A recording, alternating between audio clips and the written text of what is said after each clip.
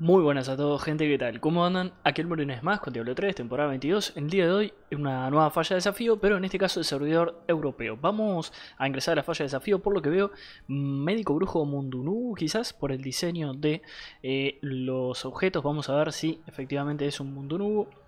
Sí, bien, Mundunú, las seis piezas, porque llevamos grandeza real, ok. Y después troll, ¿no? Bastante troll en sí. Em, por lo menos tenemos el... Ok. Lo tenemos ahí el mojo en el cubo de Kanai. Y tenemos aquí Rafa de Espíritus. Bien, daño vamos a tener. Eso es importantísimo. Así que daño sobra realmente.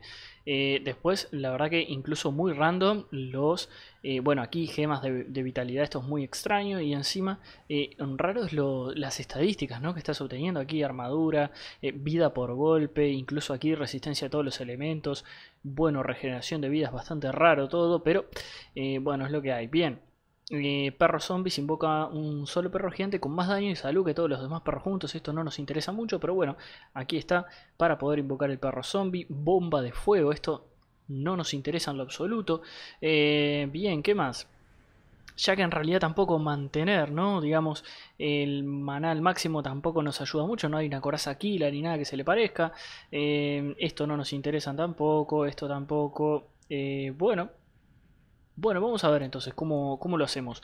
Eh, primero que nada, ya saben, nosotros colocamos aquí las habilidades, entras con la S al menú de las habilidades, clic izquierdo y podés cambiar de lugar las habilidades. Esto es importantísimo, por lo menos para mí, tenerlo aquí en el clic izquierdo. El resto mm, realmente no sé si voy a, utilizarlo mucho, así que eh, yo imagino que voy a estar utilizando cuatro habilidades. El uno que son los perros zombies, las pirañas, vamos a utilizar el gigante y vamos a utilizar Rafa de espíritus nada más. Realmente no voy a utilizar nada más.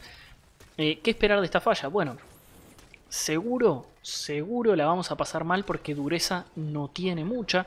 Y segundo punto es la movilidad. Vamos a estar muy, muy cortitos de tiempo quizás en ese aspecto. El resto, daño va a sobrar y a montones realmente. Así que bueno, vamos, vamos a meternos y vamos a hacer la falla si no tenemos mucho lag tampoco. Eh, vamos viendo, ¿no? Hay que ir tanteando también cómo está la situación. Recuerden ustedes que a medida que vas corriendo, ahí está, los espíritus van matando. Miren, tenemos ahí encima... Eh, ya empezamos con élites aquí, tiramos las pirañas, una vez que los matamos a todos, vieron, ¿no?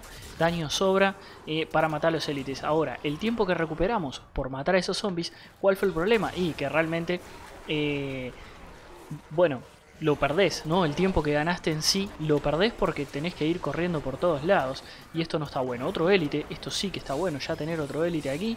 Que se muera lejos el gordo, así explota lejos. Ahí está. Perfecto, lo que les decía, ¿no? La movilidad cuesta y mucho. Eh, tenemos a cada rato las pirañas, hay buena reducción de tiempos. Electrificado. Esto recuerden lo que siempre les digo, que no nos interesa mucho el tema de la...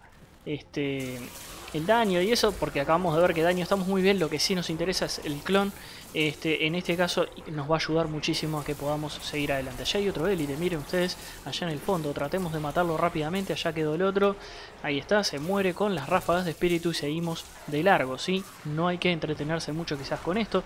Spameamos bastante el tema de las pirañas, que es esa ola que levanta ¿no? a todos los enemigos. Tenemos esa posibilidad de poder eh, en definitiva eh, tener mucho CC, es decir, mucho control sobre los enemigos y esto es importante mencionarlo para poder sobrevivir ¿sí? a lo largo de la falla, porque como les digo, somos de papel, realmente somos muy muy blanditos y la podemos pasar muy pero que muy mal. Hay un élite aquí abajo, vamos a ver si lo matamos.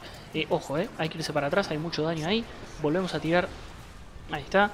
Recordemos, eh, daño físico lo sufren muchísimo los personajes que eh, son a inteligencia, como lo es Médico Brujo, Nigromante, Mago y demás. Em, bueno, y demás, son los tres personajes, ¿no? De inteligencia, lo sufren mucho, ¿sí? Lo sufren mucho y eso hay que tenerlo en cuenta también. Bien, bueno, entramos al próximo nivel de la falla. Vamos a ir tirando aquí algunas habilidades. Ahí está, vamos. Eh, como verán, es un buen mapa este. Ojo, hay velocidad, bien. Movilidad, atención, tenemos movilidad. Podemos correr un poquito. Para este lado no hay nada, como siempre yo, yendo hacia el lado que no tiene que ser. Tiramos la ola, ahí está. Vamos por aquí. Eso. Eso, eso, perfecto. Hay que moverse, ¿eh? Ahora que tenemos el pilón de velocidad, hay que aprovechar, ¿sí? Hay que aprovechar, miren ustedes, la velocidad y cómo voy quiteando. Es decir, me freno cada tanto y tiro. Me freno y tiro la ráfaga. Me freno y tiro la ráfaga hasta que encontremos algún élite. Aquí hay uno, aquí hay dos. Doble élite.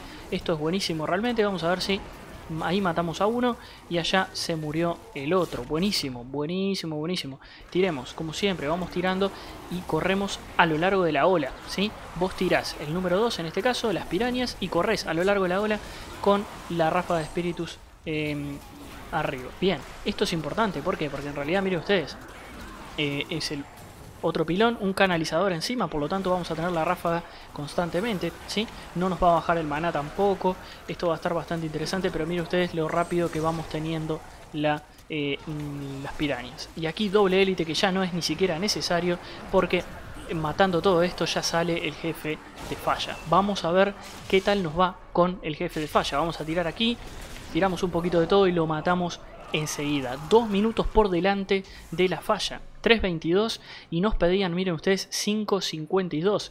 Por lo tanto, dos minutos y medio por adelante del tiempo que nos pedían. Todo un éxito, perfecto, como siempre.